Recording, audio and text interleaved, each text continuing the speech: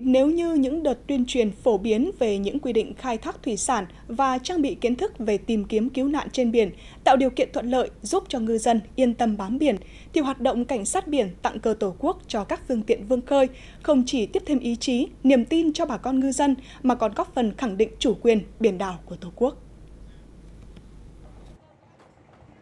Đảo Bạch Long Vĩ, nơi tàu cá của ngư dân các tỉnh thành đánh bắt trên vịnh Bắc Bộ tập trung về tranh trú bão, tiếp nhiên liệu, mua bán thủy hải sản, nghỉ ngơi hay sửa chữa ngư lưới cụ sau nhiều ngày lênh đênh. Đây cũng là nơi mà lực lượng cảnh sát biển có thể tiếp cận nhanh nhất và nhiều ngư dân nhất. Nói chung là vào ờ, Âu Cảng thì các uh, kiểm ngư và cảnh sát bể thì cũng tạo điều kiện cho những uh, dân ngư dân của các em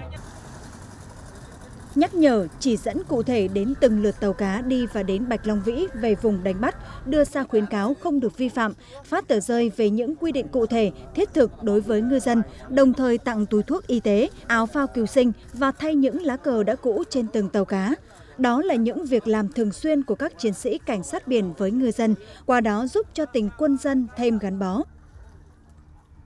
Thời gian trước đây thì à, như các đồng chí đã biết là do cái dịch Covid-19 cho nên là các hoạt động mà đến với ờ, ngư dân đến với cái vùng đảo tiền tiêu cũng gặp nhiều khó khăn. Tuy nhiên đây là cái thời điểm chúng tôi xác định là cái thời điểm ờ, rất tốt rất phù hợp để chúng tôi sẽ đẩy mạnh tăng cường công tác tuyên truyền hỗ trợ đồng bào ngư dân ở, ở đánh bắt ở, ở vùng biển xa và các cái ờ, vùng đảo tiền tiêu của tổ quốc. Đồng hành với ngư dân là mục đích những chuyến đi của các tàu cảnh sát biển đến các huyện đảo, xã đảo, đến từng âu tàu, tiếp cận với nhiều nhất những ngư dân đang ngày đêm bám biển. Đó cũng là cách nhanh nhất để lực lượng cảnh sát biển đưa kiến thức pháp luật, các quy định về đánh bắt hải sản đến ngư dân để họ nắm được và tuân thủ mỗi khi ra khơi.